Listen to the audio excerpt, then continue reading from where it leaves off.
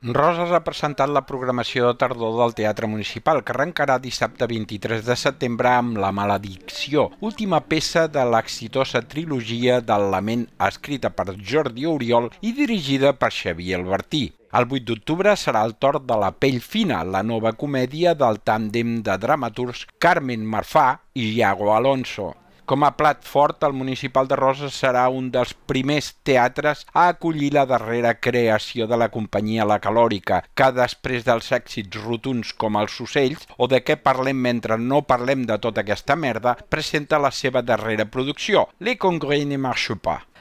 Val a dir també doncs, que el nostre Teatre de Roses serà un dels primers teatres en rebre eh, la darrera creació de la companyia La Calòrica, que s'estrena a Barcelona al Lliure i uns dies després ve aquí al nostre teatre amb l'obra de Le Congrès ne marche pas. Eh, aquesta peça també gira entorn de la celebració del Congrés de Viena l'any 1814. És una comèdia grandiosa, frívola, rabiosament política, on veurem espies que van i venen, alguna eh, conxorxa, sexe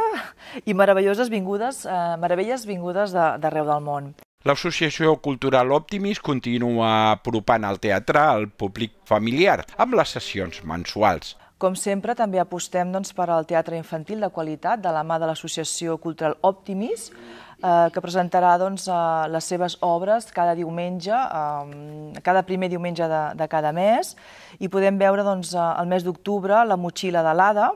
es seguiran també espectacles eh, com Cariguri i també El petit Dalí i El camí de, cap als somnis.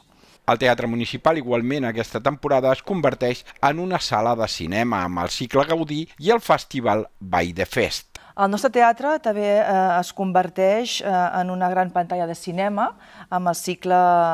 Gaudí, que porta doncs, l'Acadèmia de Cinema al català, acosta eh, tot el que són pel·lícules de producció catalana d'estrena molt recent, les porta aquí el teatre,